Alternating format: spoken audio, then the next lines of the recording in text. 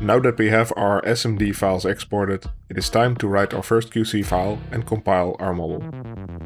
Let's start by creating an empty text file in our export directory. Also, rename it to reflect our character or object's name. Change the extension from .txt to .qc.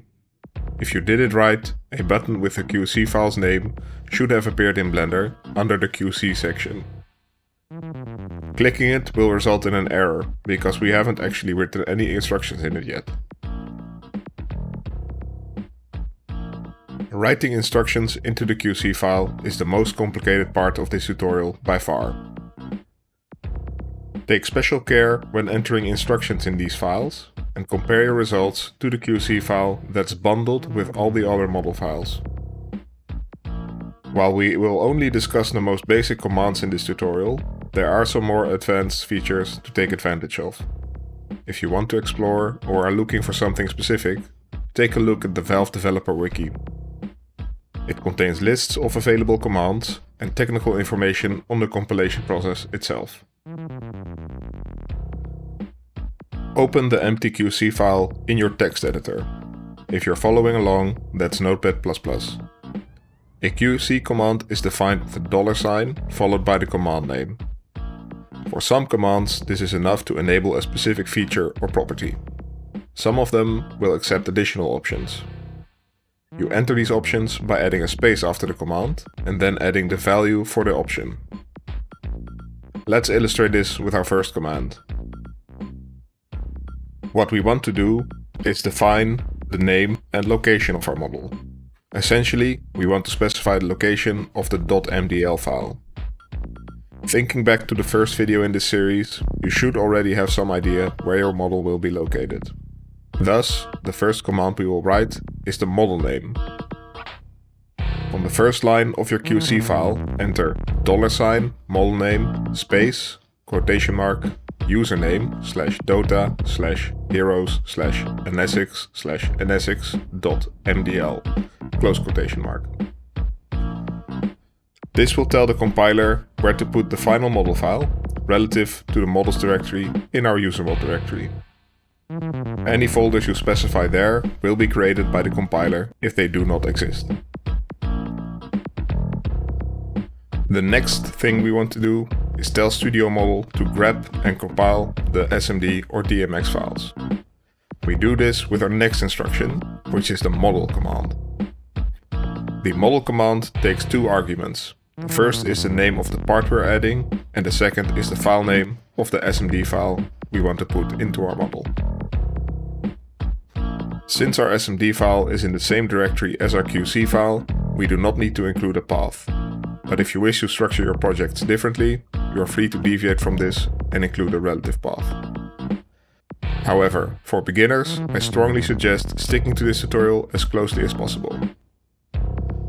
With that in mind, we write our command on a new line. Dollar sign, model, space, quotation mark, anessix, quotation mark, space, quotation mark, anessix dot smd, quotation mark. Wow.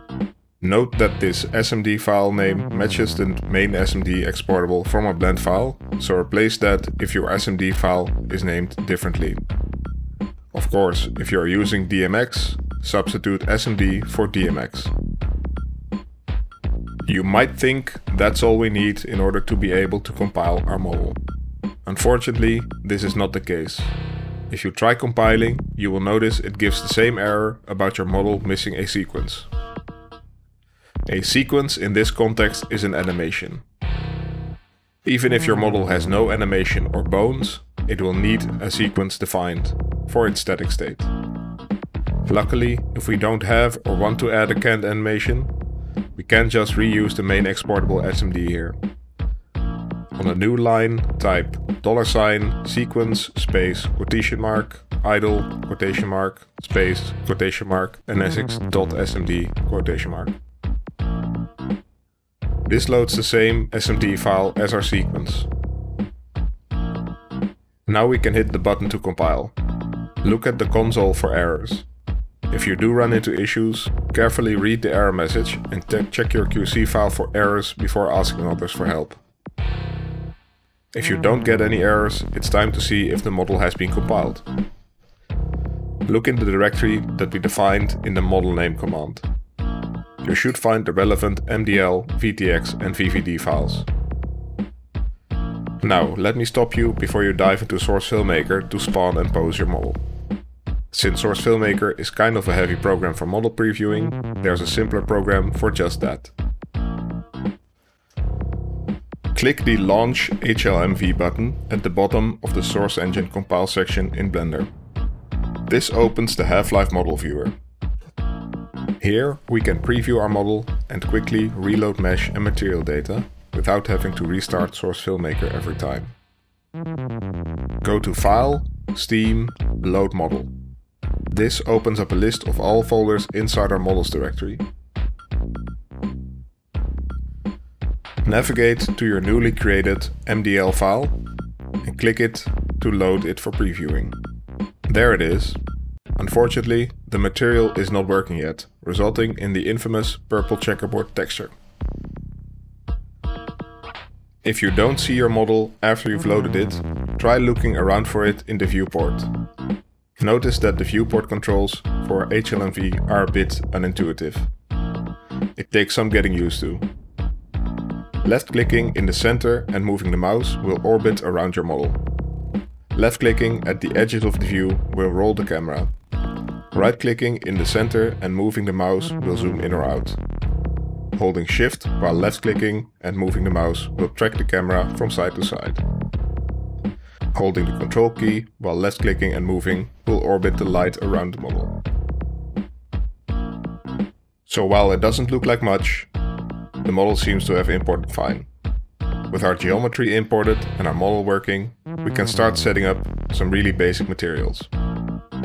However, without instructing Source where to find our model's materials, it won't be able to load them.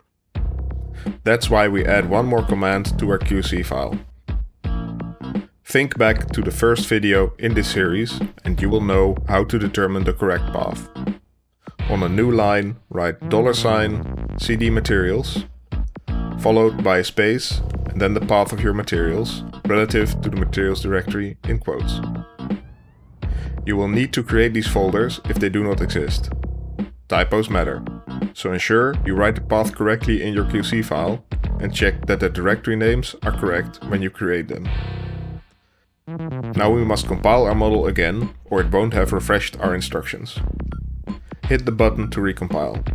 Going back to the model viewer, you can hit F5 to reload your model. This probably won't show any differences yet, but that's okay. Now we create our first VMT material in the location we just set up.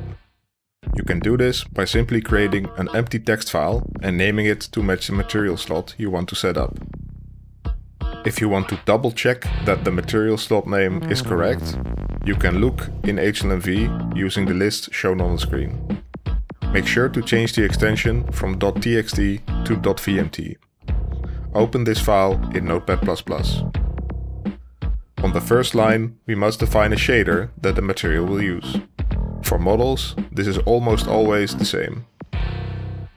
Note that the name of the shader is case sensitive, so make sure you enter the capital letters correctly. The first line should thus be vertex lit generic, capital V, L and G. In quotes. Second line is an opening curly bracket, and the last line of the file is the opposite, closing curly bracket. In between those curly brackets is where we put our parameters for the shader. For clarity, we offset or indent these to make the structure of the file more readily apparent. Setting up textures will be discussed in the next video, so for now we'll just keep it simple. We'll give the model a static color value. We do this by entering a color2 parameter. Yes, color2 sets the color. The standard color parameter doesn't work on the vertex lit generic shader, so they added a second one specifically for it. Ignoring the stupid name, let's input our color2. In quotes, dollar sign, color2, followed by a few spaces, opening quote, opening bracket, 0.5 space, 0.5 space, 0.5, closing bracket, closing quotes. Save the file. Reloading the model in HLMV should now replace the checkerboard and show the model with a grey surface. Three numbers are the color value in RGB, each one representing either red, green or blue color on a scale from 0 to 1. Since we picked 0.5 for all of them, we get a mid-grey color. Try playing with these values and reloading your model to see if you can change the color. Be sure to subscribe to the channel for more entries in this tutorial series. In the next video we will convert our textures and add them to the VMT file. We will also add the other SMD parts to the model as body groups, so we can turn them on and off. Pledge to the Patreon to support my work. Hosting SFM Lab and Open3D Lab is expensive. Even a $3 pledge for a single month goes a long way and it will grant you ad-free browsing on all the Open3D Lab sites. Thanks for watching.